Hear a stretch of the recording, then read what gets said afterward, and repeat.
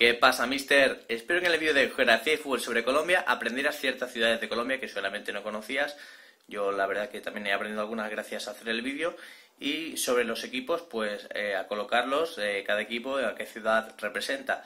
Si es de Colombia, lógicamente esto no te ha hecho falta porque eres de allí y sabes mejor que nosotros lo que hay. Pero aún así agradezco mucho vuestras visualizaciones, vuestros comentarios, vuestros me gusta y vuestros suscriptores por lo que os dedico este vídeo, que va sobre esos colombianos que debutaron en la primera división española, saber dónde nacieron y en qué club jugaron por primera vez de manera profesional. Jugadores que a lo mejor han jugado un partido en ese equipo y luego se han pasado 10 temporadas en, otro, pero quiero saber en qué equipo debutaron por primera vez como profesionales. Esos jugadores que, como comento, jugaron en la Liga Española, también míticos del fútbol de los 90 y también pues jugadores que en la actualidad juegan en el fútbol internacional y son conocidos como Espina, Cuadrado y demás. Espero que os guste.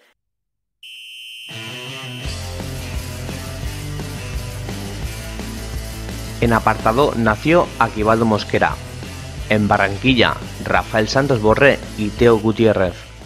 En la capital, Bogotá, Fabián Vargas, Abel Aguilar, Edwin Congo o Eder Balanta. En Buenaventura, dos cracks, Freddy Rincón y Adolfo Valencia. Son de Cali, Johan Mojica, Brian Angulo, Albeiro Usuriaga, Bernardo Espinosa, Nietzsche Guerrero, Harold Lozano, Farid Mondragón, Jason Murillo, Óscar Córdoba y Mario Yepes. De Calarcá, Jorge Bermúdez. De Caqueza, un municipio de 17.000 habitantes, Daniel Torres. Del Cerrito, Jefferson Lerma. De Chigorodó, Juan Camilo Zúñiga. Nació en Cúcuta James Rodríguez. Y en Ismina, John Córdoba. En Medellín nacieron Marlos Moreno, Freddy Nestroza, Dorlan Pavón, Víctor Hugo Aristizábal, Leonel Álvarez, José Julián de la Cuesta, René Guita, Carlos Fernando Navarro Montoya, David Ospina, Juan Pablo Ángel, Andrés Escobar o Mauricio Serna. Tenecoclí, Juan Guillermo Cuadrado, de Padilla, un municipio de menos de 8.000 habitantes, Cristian Zapata. De Puerto Boyacá, Freddy Guarín. En Puerto Colombia nació Carlos Vaca. En Quibdó, una ciudad de poco más de 100.000 habitantes, Jackson Martínez, Carlos Sánchez, Marco Pérez o Francisco Maturana. De Río Negro es Iván Ramiro Córdoba y de Robles, un corregimiento que pertenece a Jamundí de menos de 1.500 habitantes, John Biafara. En Santa Marta nacieron Gilberto García, Radamel Falcao García y Carlos El Pibe Valderrama. El último colombiano en llegar a la Liga Española hasta hoy, Adrián Ramos, nació en Santander de Quilichao y en Tuluá, otro crack, Faustina Esprilla. En Tumaco nacieron Mauricio Cuero, Víctor Bonilla, Leider Preciado y Víctor Ibarbo. Y en Turbo, Luis Amaranto Perea.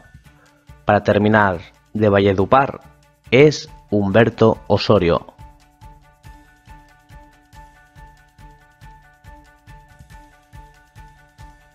De la América de Cali surge gente como Fabián Vargas, el jugador de la Almería volvió en 2014 a Colombia para jugar en Millonarios, quiso volver a América, pero actualmente lo hace en la Equidad.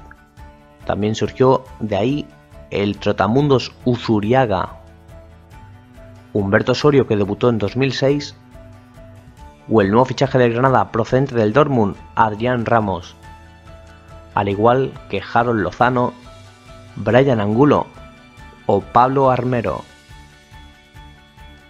Del Atlético Bucaramanga surge el Nietzsche Guerrero, debutó en primera con el Mérida y también jugó en el América de Cali, Junior, Independiente de Medellín y de nuevo Junior de Barranquilla, donde colgó las botas.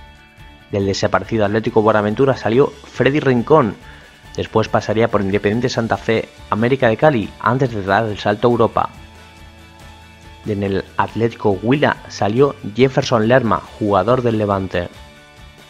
Del Atlético Nacional también encontramos unos cuantos, por ejemplo un mito más bien para mi época de los banquillos, Francisco El Pacho Maturana, el meta Óscar Córdoba, que antes de los 20 años forma parte de Atlético Nacional y Deportivo Cali, pero empieza a jugar asiduamente en Deportes Quindío, Millonarios y Once Caldas, hasta llegar a América de Cali, donde pasa 4 años antes de ser transferido a Boca Juniors. Tras su aventura europea por Italia y Turquía, vuelve en 2007 a Deportivo Cali y un año más tarde a Millonarios, donde cuelga los guantes. El portero titular de la selección colombiana, David Ospina, actualmente en el Arsenal, jugó en Atlético Nacional entre 2005 y 2008.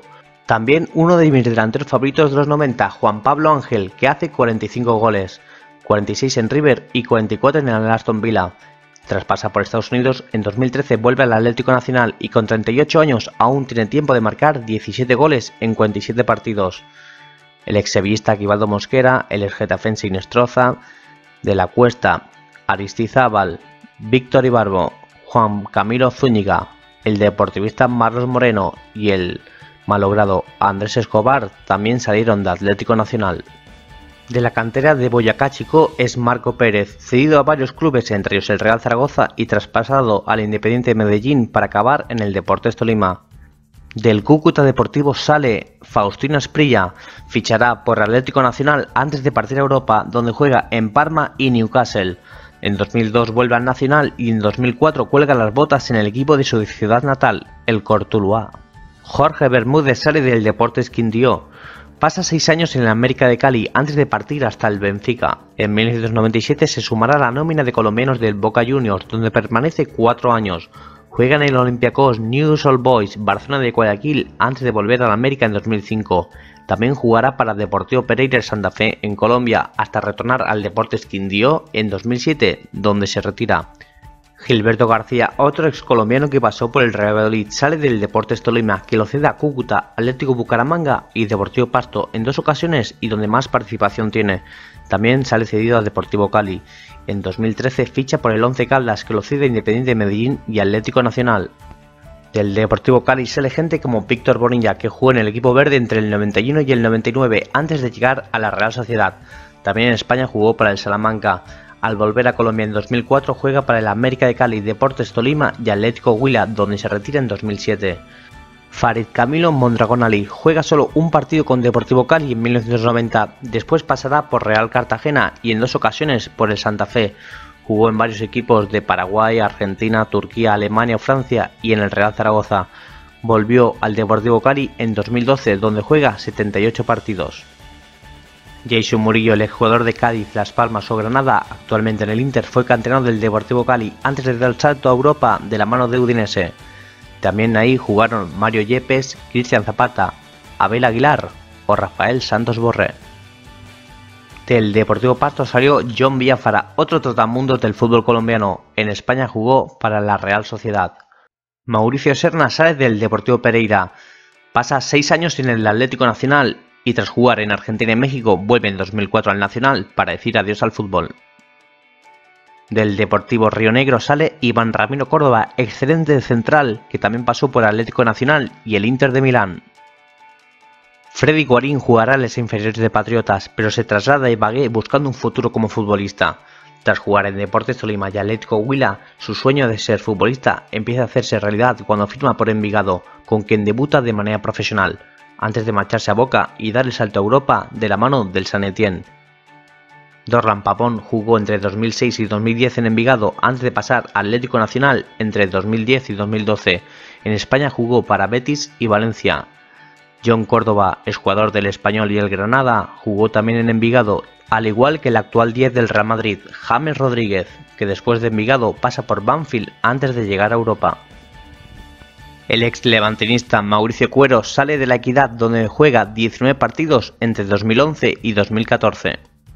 Debido a su pobre estatura, ya que media 1.35 con 13 años, Juan Guillermo Cuadrado fue rechazado por el Deportivo Cali, tras ganar masa muscular, comenzó una carrera de trotamundos por las divisiones inferiores de varios equipos de Colombia, como Nacional, Deportivo Negro, Bucaramanga y Atlético Urabá, hasta llegar a Independiente de Medellín, donde hará su debut profesional. Leonel Álvarez jugó en Independiente de Medellín entre el 83 y el 86, también jugaría para Atlético Nacional, América de Cali en dos ocasiones, Deportivo Pereira y Deportes Quindío, y en España en el Valladolid, de Higuita, Valderrama y el Pacho Maturana. Jackson Martínez solo jugó para Independiente de Medellín en Colombia, haciendo 41 gol en 107 partidos. Otro ex atlético de Independiente de Medellín es Luis Amaranto Perea. El único jugador de este vídeo que en realidad no debutó como profesional en este equipo, pero su historia había que contarla. Carlos Fernando Navarro El Mono Montoya es hijo de un portero argentino, Ricardo Navarro, y madre colombiana. Nació en Medellín, pero se crió en Argentina. Tras debutar con Vélez a los pocos días de yo nacer, pasó una temporada en su único club colombiano, Independiente de Santa Fe, en la 86-87. Protagonizó un líder de selecciones al querer jugar con Argentina tras haberlo hecho con Colombia. Sí surgió de Independiente de Santa Fe Adolfo el Tren Valencia, el jugador del Bayern de Múnich y Atlético de Madrid, que jugó en Independiente de Santa Fe hasta en tres ocasiones. También lo hizo para América de Cali e Independiente de Medellín. En 2008 debutó con Independiente de Santa Fe Daniel Torres, actual jugador del Deportivo Alavés. Previo paso por su equipo filial, el Barranquilla Fútbol Club, dos grandes futbolistas hicieron su debut en primera con el Junior, tales como Teo Gutiérrez en 2007 o el actual jugador del Milan y ex del Sevilla, Carlos Vaca, en 2009.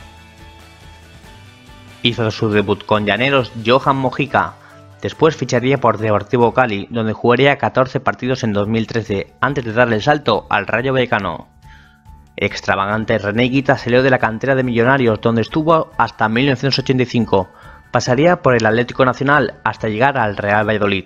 Después volvería al Atlético Nacional durante cuatro años, jugó para Independiente de Medellín, Real Cartagena, Junior, Deportivo Pereira y otros equipos como Deportivo Renegro o Deportivo Pereira, equipo en el que se retiró en 2010.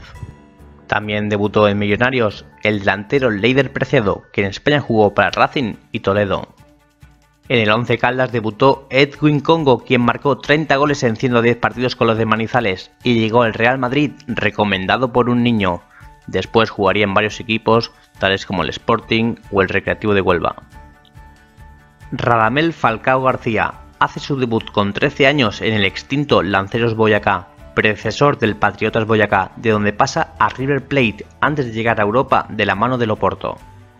El carismático Carlos Valderrama sale de la cantera de Unión Madrina de su ciudad natal, Santa Marta. Juega entre 1981 y 1983 en el primer equipo. Después pasa por Millonarios y Deportivo Cali antes de dar el salto a Europa, donde juega en Montpellier y Real Valladolid.